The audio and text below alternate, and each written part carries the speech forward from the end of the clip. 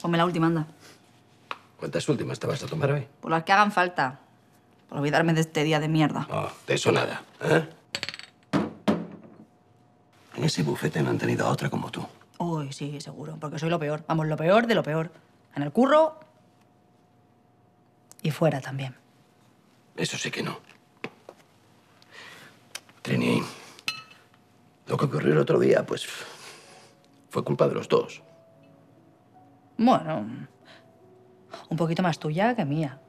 ¿eh? Que casi te me tiras encima. A ver, a ver, a ver. Tuya también fue la culpa que llegaste a mi despacho después del regalo que me hiciste. Tan guapa. Y mirándome así. A ver, Jota, eh, de verdad que esto no está bien y no somos unos críos, coño. ¿Podemos controlarlo o no? Podemos controlarlo, sí.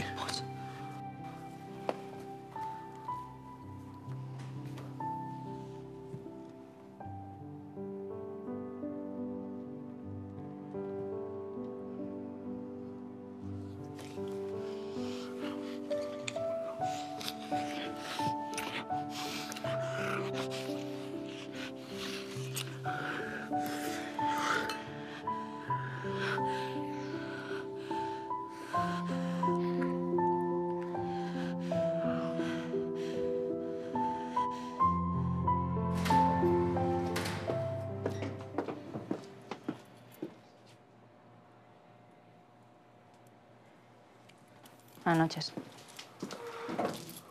Para uno es mejor que para otros. Y yo que pensaba que después de echar un polvo se te ponía cara de felicidad. Pues menuda jeta traes.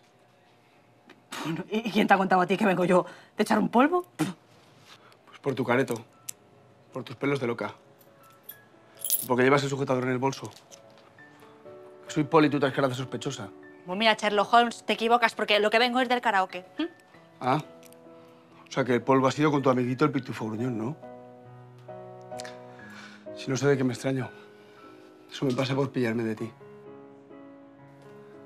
Y deberías tener más cuidadito, vecina. O vas a acabar haciendo daño a más gente.